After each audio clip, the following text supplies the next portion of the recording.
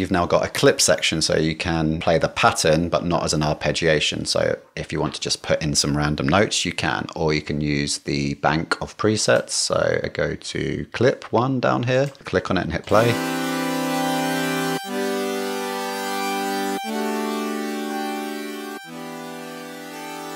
And then if you want to delete stuff, you can go in and double click it, or you can change the length.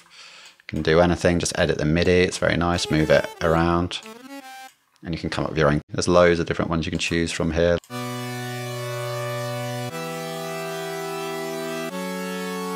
And if you like one of these clips, all you have to do to get it into your DAW is just click and drag it in and then drop it. You can also record in your own clips if you want. Here, hit record. If you select anything on here and then you right click, you can chop, you can put to a scale, you can force it to legato, mute stuff, quantize stuff, reverse stuff. Yeah, a load of different options in there. So that's also really powerful.